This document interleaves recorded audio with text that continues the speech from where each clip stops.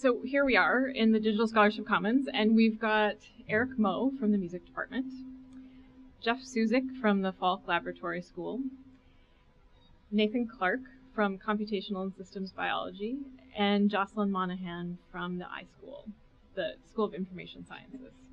Sorry. and so we've got a lot of people to thank. We've got the, you know, the Office of the Provost and the Year of the Humanities funding, um, the Humanities Center. We need to thank um, the Department of Biology in the Dietrich School um, and the University Library System uh, for hosting this evening, and the Carnegie Museum of Natural History for being our community partner through this. And in particular, I would like to thank Noreen Jaron and her team because without them, that's Noreen, um, this none of this would be running smoothly without her. So we're very grateful for everything um, that she does for events here. Um, so that said, um, we also have four Curiosity interns. So if you guys could stand up so everybody knows who you are, okay? and the one with the mic, Margaret, if you could wave. So when you have questions this evening, Margaret is going to come and help you uh, speak into the mic. We are recording, and so it's important that we get your questions recorded that way. There's another option for question, questions. So you'll see there are scraps of paper and pencils scattered around and extras over there with the interns. And so if you would be more comfortable submitting your question on paper, we welcome you to do that. Just sort of wave the paper around and one of the interns will come and grab it and bring it up here and I'll, I'll read it. Okay. Um, so those are your question answer, you know, asking options. And the other job that the interns have, which we're very excited about, is to respond to this evening's uh, conversation through blog posts. Okay. We have two interns from the humanities and two from the sciences. However, there's some interesting crossover. Okay, we've got an art history and math major in the same human, and we have um, we have biology and English. Am I right? Okay, so that's also a nice combo. Um, so we'll have some great insight that you all can read on our Frick Fine Arts Library uh, Tumblr site, and we'll be sure to send the links out to that. Okay, great. So. Um, let's get started on our discussion. So tonight we're focusing on tools and how tools can, um, you know, how, how do we engage with tools? How do they promote curiosity? How can they constrain curiosity? Um, and what can we learn about curiosity by just sort of pausing and, and noticing how we engage with tools? And um, so I'm going to ask each panelist to introduce themselves and tell us a little bit about what you do in life and then um, how you respond to the topic for the evening. And then we'll see where the discussion goes from there. And so I encourage you all to ask questions throughout, and we'll incorporate them as best we can. So, Eric. Oh, and I have to show them. Okay. Hi, uh, I'm Eric Moe. I'm a composer and a pianist I'm, from time to time. Um, and uh, I write music and I also teach computer music here, so I do some uh, work with high tech tools as well as low tech tools. Um, it's hard for me to imagine doing work or, or being able to explore sound the way I do uh, with without tools of, of all kinds. I compose at the piano or with an instrument available. Um, many of our instruments are low-tech instruments, but some of them are extremely sophisticated. If you think about a violin, for instance, um, that's the product of centuries of the best and the brightest trying to tweak a design and get the maximum amount of resonance and aesthetic properties of all kinds, beauty of of of the way it looks as well as just the way it sounds, for instance. Um, I brought a tool. I cheated and brought some of my tools here. Um, so let me show you my sophisticated tool that I brought. that's, a, that's, that's a preview of it. Okay, this, this is a Chow Gong from China. It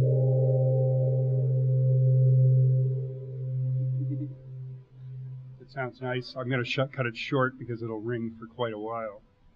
And it may look simple, but it's actually uh, quite sophisticated instrument. Um, if you want to take a look afterwards, it's got lots of lots of layers of wire. It's it makes sound in uh, different places on the circle. I'm going to use a smaller amount. These are some of the humble tools that I use.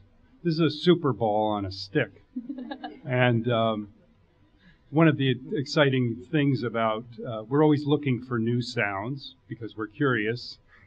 And we want to find um, new sounds. And the nice thing about super balls is any rigid surface that has that you can make vibrate will vibrate. So you can also just use them to whack things with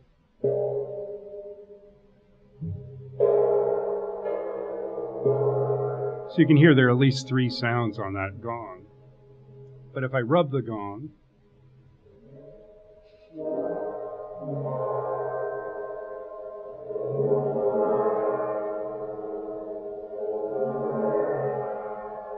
really interesting things start to happen. Uh, can suggest speech. And then, of course, wonder what will happen if I do this.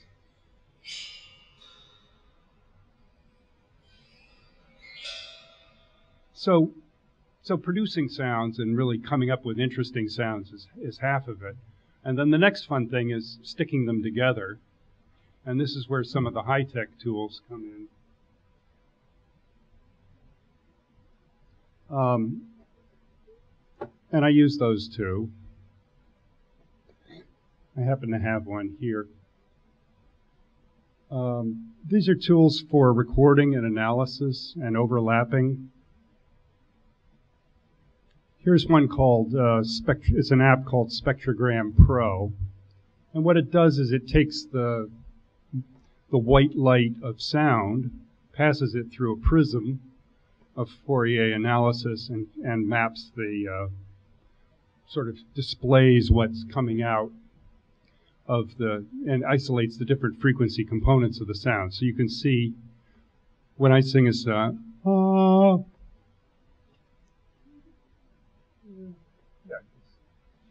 ah, you can see not just the one note, but you see all the components of that note. Sorry, I didn't warm up. um, but and you'll see all of the the the, the vowels in my speech, a ow, are going to map differently as they come out. So we can use this. We composers can use things like this to show the difference between and to think about the difference between combining sounds.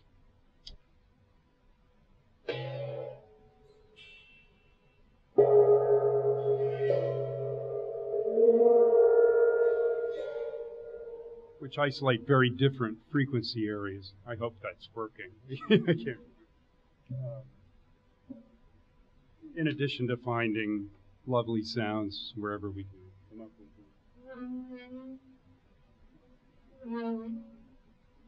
uh, so, uh, yeah, you're welcome to try one of these out too when, uh, afterwards. Um, so finally, if we stick when we're sticking things together, sounds together that have never been stuck together before. I mean, we're not just doing this for the hell of it. Um, I mean, we're doing it because we're curious about things, but the, the the end goal is to produce a piece of music that's going to make you think about wonder what's going to happen next, and I wonder when it's going to happen. And if we can mess with either of those sets of expectations, we've done our job. In other words, we want to make you curious about the next event in a piece. And if we can either give that to you ahead of time or delay it, just after when you expect it's going to be, you're going to have an exciting experience. Or if you're going to get, if it comes exactly when you expect it, but it's something way different than what you thought was going to happen, then we've done done our job using tools. Okay. Thanks. Hi everyone. Again, uh, my name is Jeff Suzik, and um, I feel completely un- outmatched by this task now because the only tool I have is this little glass of red wine um, in front of me. Um, when I think about tools as the director of the Falk Laboratory School, where if you're unfamiliar with what we do, we're a school that is affiliated with the School of Education and we serve about 400 students on this campus who are between the grade levels of kindergarten and eighth grade.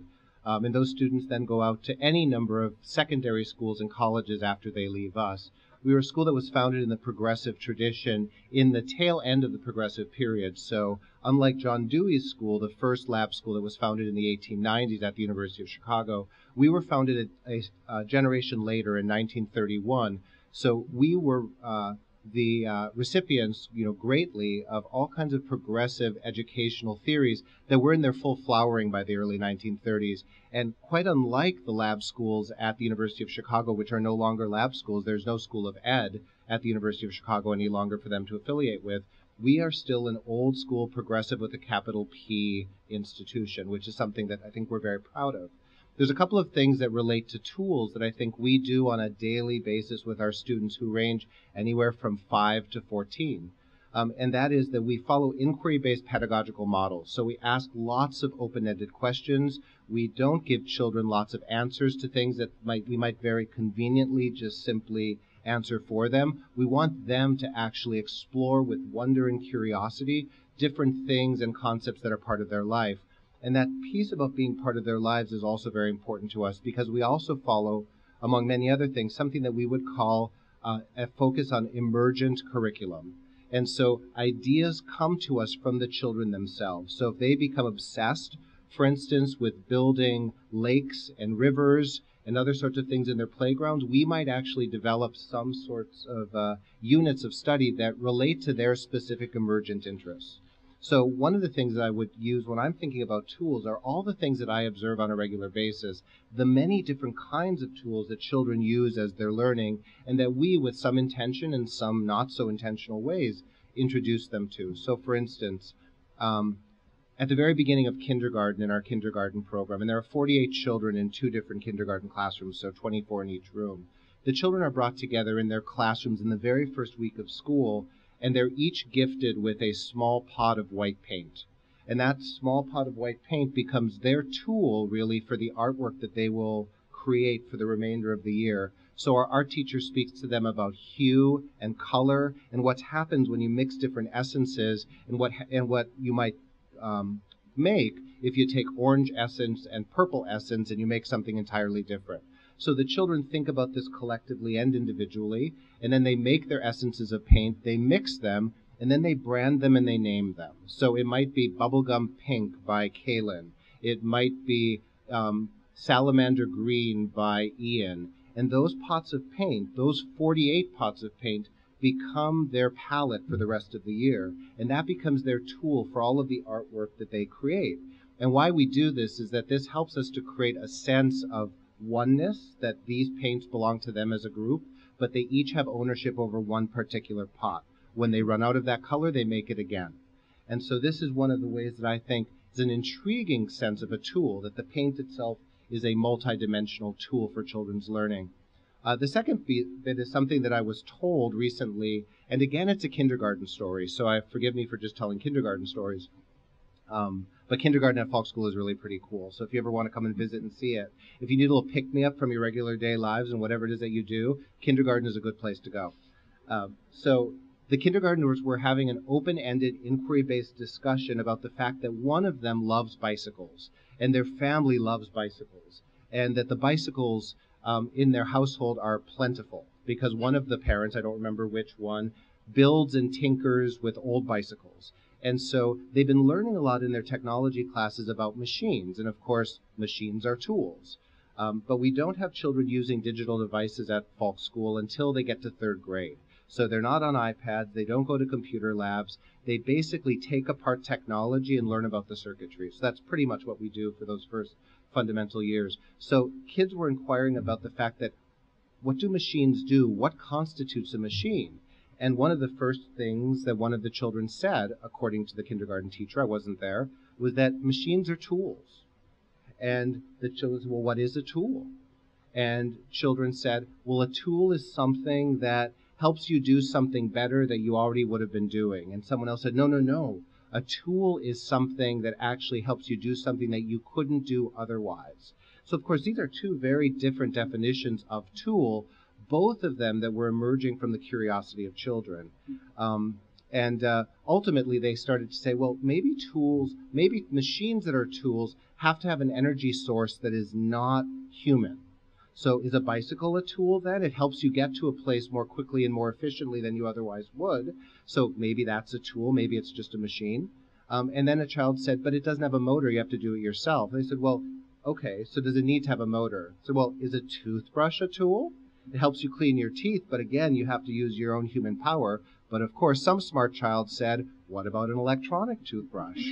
Um, and so these are the types of conversations I think that enrich children's lives to have them with them, build a sense of curiosity, wonder, and inquiry in them, and they just happen to be about the use of tools.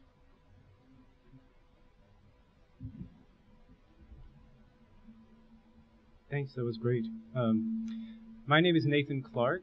Um, I wear a few hats in the field of biology. I'm a geneticist, but I'm also an evolutionary biologist. So this got me to thinking that essentially, uh, through my studies, I study tools, but tools that are used by non-humans. And let me explain.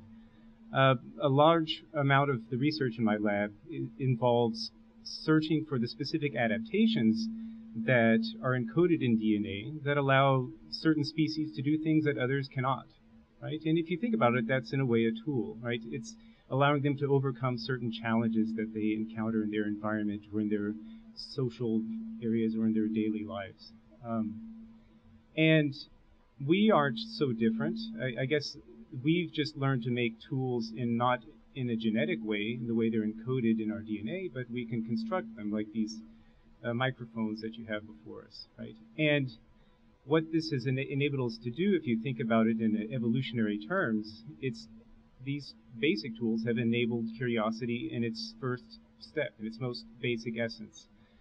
Because if you're struggling just to survive every day, just to get enough to eat, you really can't afford curiosity, right?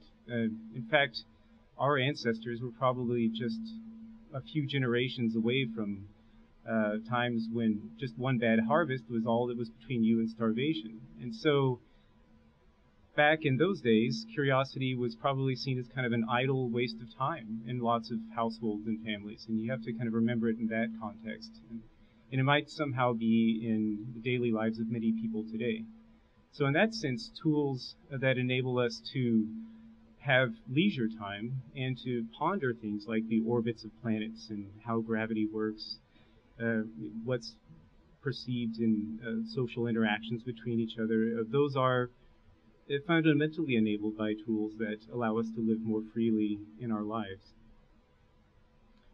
Uh, in what we do, uh, of course, I like like everyone before me, I couldn't imagine doing what I do without the tools that we have. We have machines to sequence DNA and computers to study the sequences of DNA that are millions and millions of letters long, and these, of course, would not be possible without these tools. Um, so that's where biology is essentially taken all the major steps forward when when you can answer a certain set of questions observationally, beginning with very simple things like my own field of genetics. It began with Gregor Mendel. Uh, he was just wondering how it is that certain varieties of peas appear different from others, and it's inherited, right? And so he just did garden experiments um, in the monastery for several years and figured this out observationally. Um, I guess that wasn't as tool dependent as the field is now. He, he wouldn't recognize the field. But essentially, with every new tool, it has allowed us to go in and explore different questions about how things are inherited in different questions about what adaptations we have and what other species have as well. So there's perhaps a um, perspective from my field of what tools we have and uh, what they've enabled us to do. Um, my name is Jocelyn Monahan, and I'm a PhD student at the School of Information Sciences in uh, Library and Information Science and uh, my research has to do with so, um, the social aspects of technology, and my uh, my teaching does as well. So I teach a class called uh, Creative Engagements with Digital Technology, and in that class, um, which is a master's level class, uh, my students who are librarians are encouraged to work with a number of different digital tools to produce projects uh, that they come up with on their own. And it turns out that master's courses are not that different from kindergarten because the question the question that we struggle with the most is uh, they'll bring in an idea, right? And the assignment structure is iterative. So I'll say, okay, bring me in an idea for something you want to do and the tool you want to do with it, and, and tell me tell me why you think that'll work. And then they bring it in, and then I'm, I'm, i say like, okay, now go try it and tell me if it worked. And then almost inevitably it didn't work, right? Um, and then I say, okay, well, tell me why. And so by the end of the class, they go through a couple of different tools to produce the project that they need. And while they're doing that, uh, what I what I want them to do is figure out how different tools will let them work with a different subject um, in unique ways. So, for example, I had one student. We learned a, a language just really briefly called processing, and processing, uh, what it does really well actually is model algorithmic evolution. So it's used by scientists, but it's also really friendly, so it's used by humanities people to program stuff. And my student was an artist, and what he wanted to do was something really algorithmic and cool, where he generated different color palettes, and he had no programming experience. But he got this like bee in his bonnet because he saw it, and he saw that this is the thing he would need to do to do that. And so we would have these meetings where we would sort of wrestle with with how to do it. And he ended up spending the whole semester building this like one tool for this with this programming language. But he he went on like like this incredible journey that he presented for his final project right? Where he like emailed a bunch of people who like made the language. And like he got some sample code from someone else that he that he had to modify for his own uses. And then at the end of the semester he he had it. He did it. And he gave the best presentation i've ever seen on how to code and how to learn to code because he had to do it and he let his curiosity lead him like he had an idea and then he and, and he traveled through like the world of this tool to get there. I had another student uh, who had OCD, and she wanted to figure out how to create an interactive fiction story using the tool Twine, um, where you experience uh, the day in the life of someone with obsessive compulsive disorder. And I said, okay, well, how how do we break down obsessive compulsive disorder? Like, what are what are the different aspects that you want to represent in this game? And so what she decided on was thinking about the different things in her mood. Like, is she getting is she getting too obsessive? Is she getting anxious? Is she getting depressed? And once you hit a certain threshold based on the decisions that you make, um, you shut down because that's what happens in real life, right? She's unable to function whenever she reaches a certain point. And so, um, this topic that we're discussing today is really interesting to me uh, because when I teach this class, what I'm doing is basically throwing a bunch of tools. I do one tool a week, right? I throw a bunch of tools at, at these students and say, okay, figure out how to use that tool to do something. And this is a slightly different definition from where your students arrive. I said, use that tool to do something that you couldn't do otherwise. Um, not that like you, you couldn't do it yourself, but also you couldn't do it with a different tool. It needs to have a unique stamp on it based on that specific thing that you're using. And so what's interesting to me about this topic is thinking about the ways that tools uh, allow you to do something unique and leave that sort of imprint on whatever whatever concept or work you're doing. Do we have any questions from the audience? Yes, way over here. She's going to bring the mic over to you. Oh. Everybody speak closer to the mic, it sounds like. Okay. Okay, thank you for letting us know. Does anybody have a question? Oh, Steve. Yeah.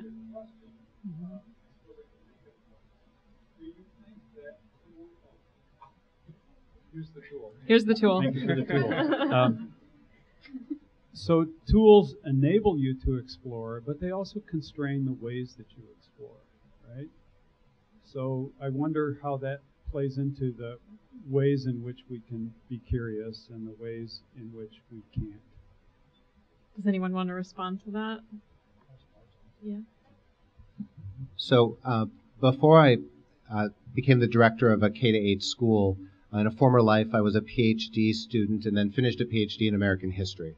So I didn't come to education through an education program. I came to it through historical research. And the historical research that I did, and this was one of the things that made me so interested in Falk School, is that I'm a historian of, of education uh, specifically about education in New Deal work programs during the Great Depression. So, Falk School, founded in 1931, if you were paying attention, the program that I studied for a decade of my life was founded in 1933, the Civilian Conservation Corps. And if you know anything about this particular program, it was one of the most well known programs during the New Deal. It took working class teenage boys and young men between the ages of 17 and 23, uh, had them work and live on uh, rural, out of the way, usually forested work camps that were run by the military but were run in the evenings by the Department of Education. And so while boys during the day were working, fighting forest fires, planting trees, um, building public park infrastructure, in the evenings there was lots of societal and internal governmental debate about what they should be doing at night.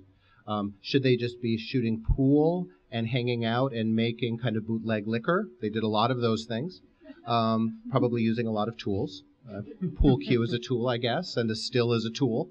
Um, but could you actually imagine a promise of America that would be realized for these working class boys at night?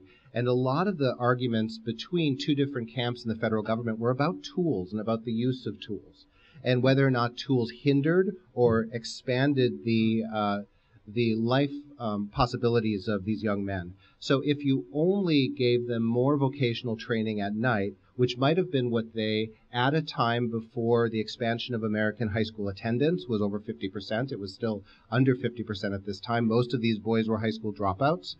Should you just expose them to more tools, give them training in using lathes and skill saws, and make them into plumbers and mechanics, very skilled, highly paid occupations? Or could you imagine this as an opportunity? They were a captive audience, introduce them to different tools, and one tool that you could introduce them to would be books or learning or type learning that was academic. Get them to study for what was then the equivalent of the GRE. Um, and expose them to a world of tools and resources that would then make them into a professional white collar class that was not in the, the cards for them at that particular time in history. So there were these arguments back and forth about what tools would actually liberate this part of the American population to reach their max- maximum potential. And some of the most obvious um, feedback that we would think was positive was, well, yes, we should actually make these into little universities in the woods in the evenings because everyone should have access to the tools that will make them into professionals. But there were equally strong voices about, actually, these are people who don't want that. What they want is the mechanical and vocational training that will allow them to become skilled workers, not unskilled workers. So we should expose them to more of those tools. And one of the quotes that I love was that one of the um, one of the federal officials who oversaw educational programs in these camps said at one point, "Listen, all boys are not Beethovens." So maybe they should be exposed to the kinds of experiences and tools that they need, and that will expand them as opposed to holding them back. Um, so in in the class that I mentioned, we talked a lot about frustration, uh, which is good. And uh, part of the final project, what I told them was, you don't need to finish whatever you're trying to do. I just want to know how you tried to finish it. So part of the final project was they had to keep a, a log and a breakdown of what they spent their time on. Um, and the, and the first time that they spent, like the biggest for most people, was the brainstorming part where they had the idea and like iterated on that idea once they once they went forward. But um, the second biggest or the biggest part was also always how much time it took them to figure out how to use the tool. And they would do weekly updates and they would come in and be like, I just want to do this really simple, simple task. And I cannot for the life of me make it happen. And so there was a there was a competition happening between them having like this really cool idea that they wanted to make happen, but then like the tool not being intuitive or like just being too complex for them to do it. And so they would hit a wall in terms of um, because they had a really clear vision and they wanted to move it forward. And so I think that uh, part of the problem with tools is that um, uh, it's really easy. Like when the tool is scraping a super ball across the wall, like it's pretty easy to figure out how to do that, and it has really cool results. Um, as you go as you go up in complexity, you're dedicating less time to your curiosity and more time to the tool itself which can then be carried forward. But if it's your first time, then it, it can be kind of a kind of a troublesome endeavor.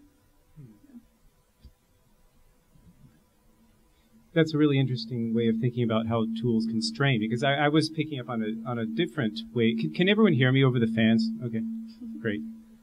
Uh, I mean, I guess what came to mind for me was the fact that things like search engines can, that's a nice tool, right? But it can really channel you only into certain areas, right? Or if you have a microscope, you're going to look at small things, basically, but you might miss the big picture, right?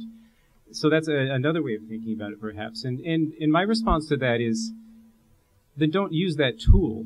Um, I, I think there's, as we create more and more of them, I mean, what's the alternative if you don't have a microscope? You don't look at small things, but you would need a tool to see anything else that the naked eye couldn't capture anyway. So I'm sure you would you know, human curiosity should overcome that. I would hope, you know, in in in the academic world, I think we're it's, but actually even outside the academic world, I think we're all blessed with a very deep sense of curiosity, and I hope we would overcome that and, and search out the things that can enable us to do things that we do want to be doing. And particularly creative people will adopt a new tool and then forget the rules in a way, kind of like how you know you play jazz, right? You you learn the rules of the chord progressions, and then to become a good jazz player, you forget them. And and I think tools you with the kind of innate human creativity and curiosity should be treated in the same way, right? That's just my reaction to that. So. Well, I think it's um, from my standpoint, I've, since I've spent a few decades of my life sitting in front of the same tool, namely a piano keyboard, um, I haven't really felt constrained by that. I mean, I know, and I certainly seek out other modes of expression and, and new tools, and I'm e- always eager to embrace them. But there's a lot to be said for continuing to master all of the complexities of one tool that's extremely well designed that has a lot of potential. One of the things that frustrates me about a lot of applications and a lot of digital technology is just as soon as I get, I, I start to acquire a degree of mastery of certain kind and can really make things start to happen with it, then it's upgraded to a new system and all the little things that I knew how to mm-hmm. get to when it have repurposed and I have to completely retool my I either have to go into the preferences and change them all back the way I, I had them originally. And it's never quite works as well as I did. So we're never allowed to get that mastery. Uh, one of my uh, colleagues is uh, um, not at Pitt, but in the world, is uh, a fellow who made his living doing tape music. He was a pioneer. Mario Davidovsky did uh, these marvelous electroacoustic compositions involving just working with recording magnetic tape and splicing it. And he could never, he felt digital technology had, had sort of ruined his life because he missed the tactile connection that he'd spent, you know, decades again, sort of mastering the feel of how much tape would corresponded to a few seconds of music and the way in which to, to, uh, to join those things and to create a grasp. So in create, creating art anyway, the the more high tech isn't necessarily the better, or the more variety isn't necessarily the better. We have a question back here, Barbara. Yeah.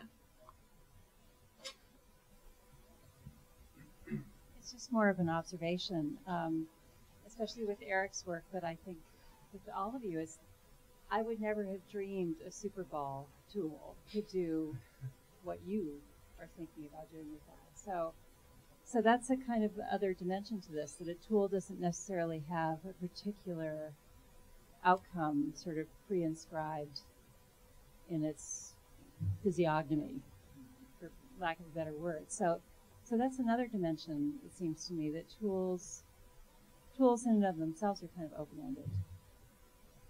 So it's figuring that relationship out with curiosity that's that seems to be at root with a lot of what all of you have said actually. Right. If we had handed that same mallet to someone else, we may not have gotten that sound. Yeah. Could could I add a little addendum on it? I mean, it's it's that's a great analogy for other fields as well. I mean, you you would essentially want your tools to be uh, durable, I guess, so they can adapt to being used in different ways, right? And and in, in my own field as a computational biologist, I, I, I, can think of some of the most amazing, you know, uh, computer code programming that has been the most useful tools are the ones that are written in modules and in ways that peop- other people can just pick up and readapt to their own purposes or build off of. And, and I guess that same analogy can be taken down to the Super Ball.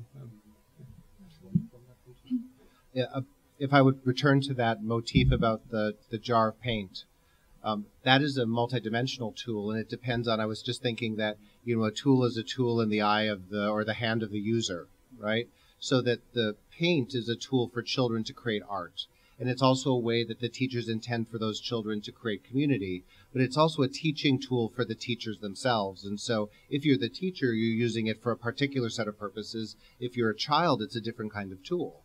So I think that lots of tools are used for different things. I was trying to think of things that people might oddly have in their kitchen that why is there a wrench in here oh that's because this doesn't work so i use that to get the ice out of the you know it's a tool that was not intended for that we make it into the thing that we want it to be I think uh, I think a good kitchen example would be mi- Microplane, actually, which started as a wood rasp company, and people used it to grate cheese because it was be- better than any grater that existed. So Microplane started started making graters, and um, which but it reminds me of, of you talking about the emergent um, learning in your school and and how lesson plans adapt to what people are doing because I think one of I, I think that's a great point and one of the most interesting thing that happens with digital tools um, is uh, so, for example, the Xbox Kinect, which came out quite a few years ago now, um, was one of the first tools that pays attention to where your body goes and would let you um, act in a game.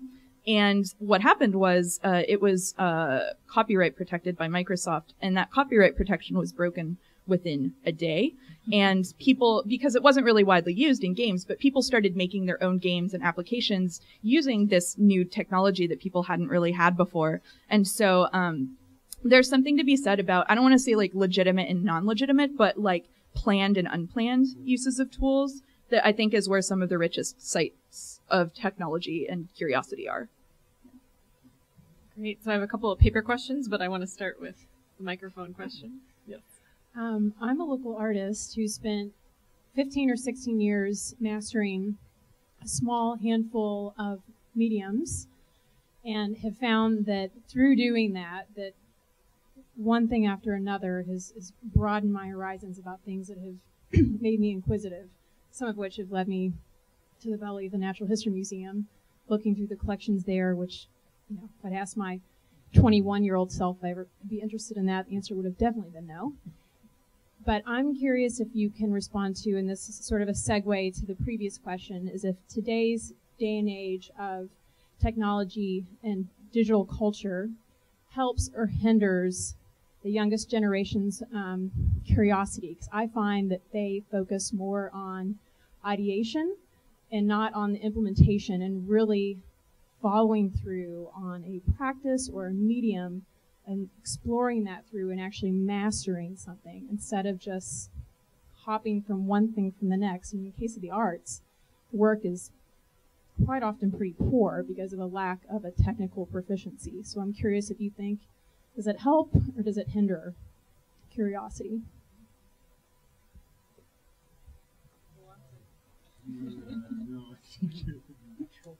Okay, so as the kid person, um, supposedly, I'll answer. Um, I think it depends. I think, and that's kind of a weak answer, but I think it's probably both and. And so, but I will just focus on the hindering part. Um, one of the things I mentioned earlier is that at Falk School, for all kinds of complex reasons, we limit children's access to digital devices until they're in third grade, so until they're about nine. Um, so that we know that they're using digital devices at home, we know that they have iPads, we know that they probably know how to do searches on computers, but we intentionally do our education around technology to be about circuitry and how technology itself works, to make them curious about what's inside machines, not just simply being passive consumers, but active creators of things. And so one of the things that you would notice if you came to the Falk School is that there are lots of old school progressive things that go on, like the building of things with blocks. And so we've got big blocks and little blocks and Legos and other kinds of connect sticks and things that children are often building with independently, not just in the classroom in an organized kind of fashion, but in the hallways and little alcoves. And we leave, the, leave these up for a very long time. How we've actually added a digital piece to this or a technology piece to this is that our technology teacher, who is a computational lingu- linguist, she has created wired circuits that children learn how to create so that they can animate their block play. So they flip a switch and it knocks everything over because that's what kids really want to do when they build something is knock it back over and then rebuild it. So instead of having them live in a virtual world, we have them live in this world first. And it's our supposition, it's also our um, our anecdotal observation that children become much more open and curious about inquiring about the world around them because we do these things. Um, now, up until two months ago, the American Association of Pediatrics agreed with us, but they changed their mind.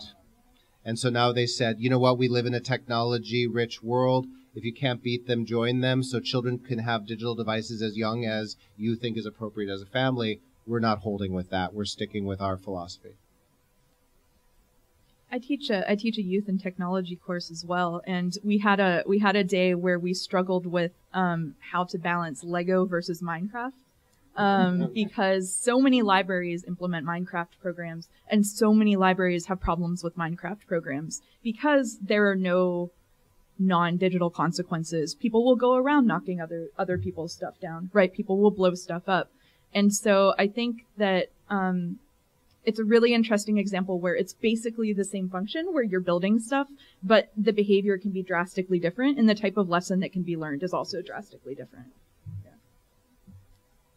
Just to inject a contrarian note of a sort, um, I mean, I, I am essentially in total agreement with, with my colleagues here, but um, I just I want to note that there is uh, a sort of a surprising resilience of low tech hanger on behavior. I mean, there is a continual survival of analog instruments. Who would have guessed that? I mean, we've had electric instruments around for 100 years now, uh, or close to it. Um, you know, and they're wonderful. They're fantastic. They can do everything. They're cheaper. They're better. They don't have to be tuned. Um, but yet, people are still spending hours of their lives learning chords on a guitar. and uh, and it's not that the quality of musicians have gone down. In fact, it's if anything, it's we've got more fantastic musicians now than ever in in the history of the planet. So, and we got records being made on vinyl for Christ's sake. I mean, so you know, there is this weird thing going on, split going on that you know the geeks of the world are definitely spending a lot of time in front of computers, but other geeks of the world are also spending a lot of time at doing things that have nothing to do with sort of drowning in the sea of information. We have a few paper questions I want to insert here. So they're all great. This is so much fun. Um, so the question is, so why don't we play jazz with our search engines? What makes some tools playful and others more deadpan? Who wants it? So that was directed at me. but feel free to chime in. It's fine. well, yeah, okay. We don't play jazz with our. You might search want to speak a little closer. We we don't literally play jazz with our search engines, but you know we can compose stories or you know delve deeply into the history of some topic that deeply interests us, and that's jazz to the mind. Um, but you could also play jazz with a search engine if you want to find an electronic instrument or some new you know sound wave spectrum that you can use. I mean it, it can enable those things. And uh, i just think we should learn how to use them responsibly in a way. I mean i the i really appreciated the last question uh, as a father of three you know just you know my wife and i stay up late some nights wondering if we're you know if we made a big mistake in bringing a tablet into the home and and and um, well, I don't have the answer for that. Can we play jazz with search engines? That's my question for you all. I Is mean, that possible? last year, uh, an article, I think it was last year, came out where someone tried to hold Google accountable for something that they Googled. Um, and Google was like, well, we don't really understand how the search engine works. Like, it's, they, they said it was so big that they didn't understand what was happening inside it. And so I think the ability to play jazz on something gets a little bit confused when it gets so big that the people who make it don't even know how it works, right? Um, I might also say that, you know, uh, if th- if I think about some of the things that I end up doing on Saturday afternoons for far too long and many different hours, I search something and then I find something else, and suddenly I'm looking at trips to Kathmandu when I started looking at sort of progressive education. And so I think there's something jazz like about the randomness of what searching can become because you search link to link to link to different thing. And there's a kind of a bebop sort of aspect to that, which is kind of artful randomness. I think so. Maybe you can play jazz with the search engine. So Eric, I'm dying to know how do you feel about the jazz analogy? Let's hear it. Uh, I'm not crazy about it, to be honest. Um, the way improvisation works, and I'm not an improviser. Let me preface by start stating that. But the way it works is you you master certain tropes of expression. You practice the hell out of those, and then you you sort of in the heat of the moment, depending on what's going on around you, you sort of assemble those together. So basically, it's a lot of subconscious and sort of directed conscious decisions that are sort of combining to to create a work of art. And my experience of using a search engine and and going from puppies in uh, in Kathmandu to uh, kittens uh, hanging from uh, walls in uh, New York is is not quite like that. In, in, in, instead, there's no there's not much direction happening. Uh, there is sort of subconscious wandering, but it's there's not there's no higher purpose sort of hanging it keeping it all hanging together.